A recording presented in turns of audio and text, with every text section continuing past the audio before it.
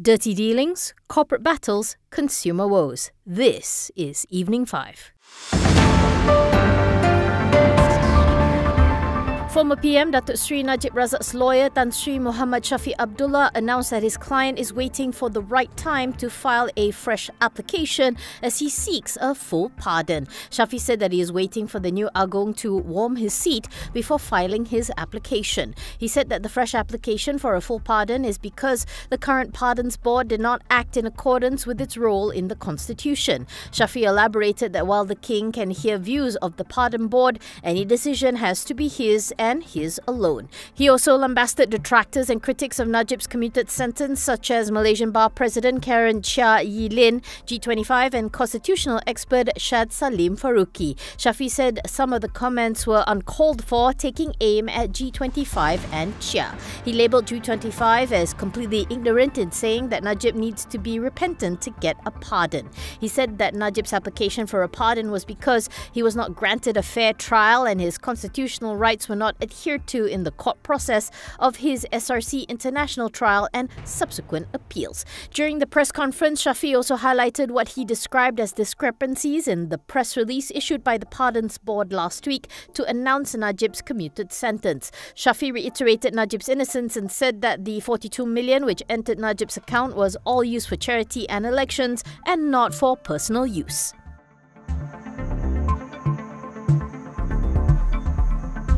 KLCCP stapled group's net profit for the fourth quarter rose 38% year-on-year to 384.6 million, primarily due to improvements at its hotel and retail segments, while its office segment remained stable. The group, comprising KLCC Property Holdings and KLCC REIT, saw quarterly revenue grow by 7% to 442.6 million from 413.3 million previously. It declared a dividend of 14.4 cent per staple security for the quarter under review, which brings brings the total declared dividend for the year to 40.5 cent, the highest it has reported since its listing as a staple security in 2013.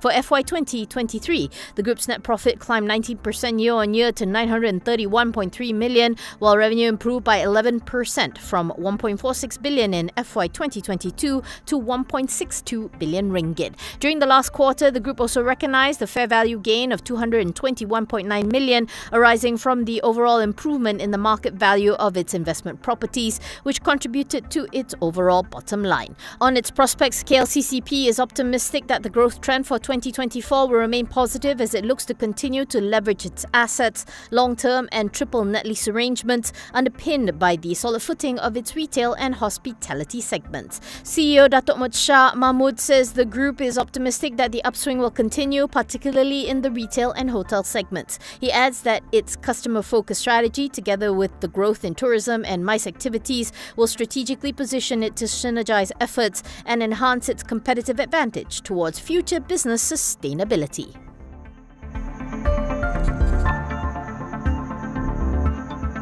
Despite recording lower sales for FY 2023, Carlsberg Brewery Malaysia's full year net profit was up 5% to a record high of 333.2 million versus the 317 million it posted a year ago. This was mainly due to the absence of the 21.6 million prosperity tax incurred last year. Its bottom line also saw a boost from the higher share of profit in associate Lion Brewery Ceylon as well as recognition of 11.3 million in deferred tax income relating to investment allowance of its new bottling line installed last year. Revenue for the year declined 6.3% to 2.26 billion, dragged by lower sales on the back of softer market sentiment and inflationary pressures. The brewer has recommended a final dividend of 31 cent per share, which brings the total declared dividend for FY 2023 to 93 cent per share. This would make it Carlsberg's highest yearly payout since FY 2019. Quarterly net profit for the fourth quarter rose 40% year on year to 84 million, also due to the absence of a one-off loss and recognition of deferred tax income. Similarly, this improvement in earnings came despite a 5.3% dip in revenue to 580.5 million ringgit. Looking at FY 2024, Carlsberg notes that this year's Chinese New Year season has commenced on a positive note with market activations behind its limited edition festive can in full swing. It has also earmarked 92 million capital expenditure for a new canning line and filtration system to deliver higher production automation, flexibility and capacity.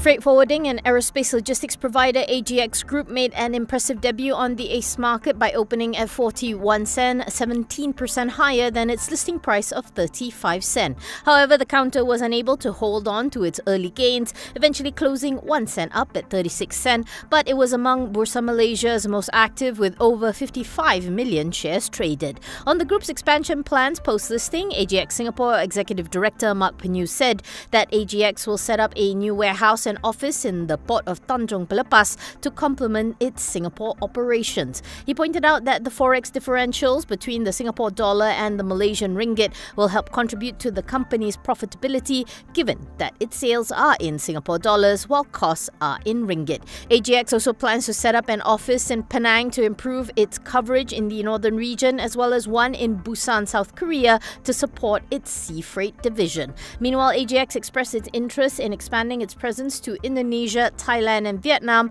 aiming to become one of the largest industry players in Southeast Asia. Furthermore, AGX reiterated its commitment to focusing on the aerospace segment, which counted for 37% of its revenue base.